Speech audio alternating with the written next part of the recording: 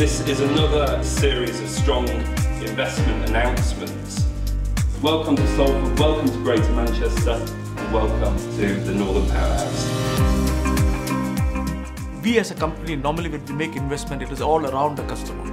Without a customer in mind, we tend to refrain from investments. And we were looking for an anchor customer with whom we could work. And in TalkTalk, Talk, we found an ideal anchor customer. And that's why the timing is right now. And effectively, our strategy as a company is to help our customers run their business better, change their business faster, and grow their business greater. That's a philosophy we have. And we believe the one key enabler for everything around this is around digital. And we see a lot of digital innovations happening in this place. Today we heard about the amount of new startups that are coming in this space. And one area we are looking heavily is to take the startups to our market. Startups, what they have is they have great ideas. And what we have is access to a global market. And we believe that synergies could be leveraged much better now. The universities in Manchester, we are all working in the digital space. So we're very keen to make sure that what we do within the universities is prepare our students for the future jobs that don't exist now.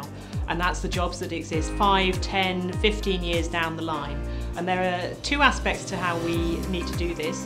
One is creating a curriculum with industry um, and really asking them what they anticipate their needs will be in terms of the skills and expertise that our students graduate with. And also giving our students as many opportunities as possible to interact with industry during their study. I think Tech Mahindra, uh, with their particular um, emphasis on wanting to let their keep their doors open to students coming in and uh, promoting entrepreneurship. I think they will be very important in really helping us accelerate that sort of content.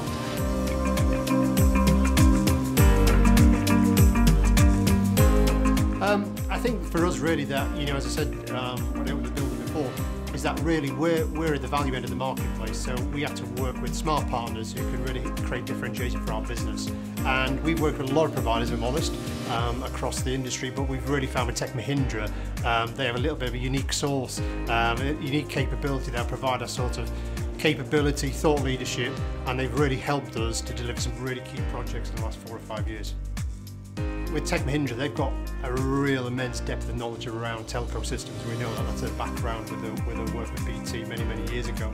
And that just oozes through in terms of the capability. So as a technology provider and as a telecom company, um, it's an absolute perfect fit with what Tech Mahindra does.